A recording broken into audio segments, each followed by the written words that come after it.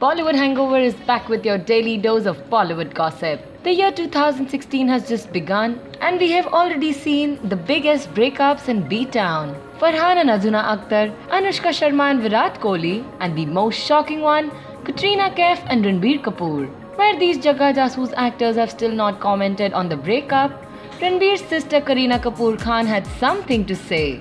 She said, Even if Ranbir has spoken about it to me, it's personal matter that I'd never discuss it with the media. I love my brother and wish him only the best in life, always. However, when asked her about the growing tendency of marriages falling apart, she said, There is no formula. Sometimes, after 20 years, a relationship just doesn't work.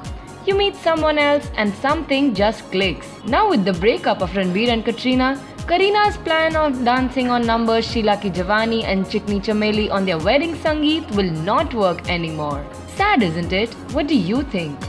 Like this video, write in your comments and don't forget to subscribe to Bollywood Hangover.